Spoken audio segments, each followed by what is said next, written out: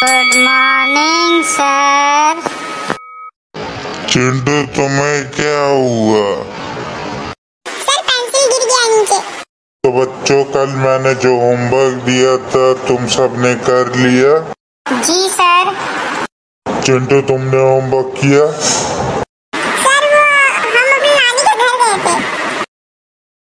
लेकिन कल तो मैंने तुम्हें बाज़ार में देखा था नहीं सर वो कोई और होगा ठीक है कल जो जो होमवर्क नहीं करेगा उसे मुर्गा बनाया जाएगा। सर मुर्गा मत बनाइए मेरा फेवरेट मटन है। कल हम खाली टिफ़िन लेके आएँगे मटन बनाइएगा।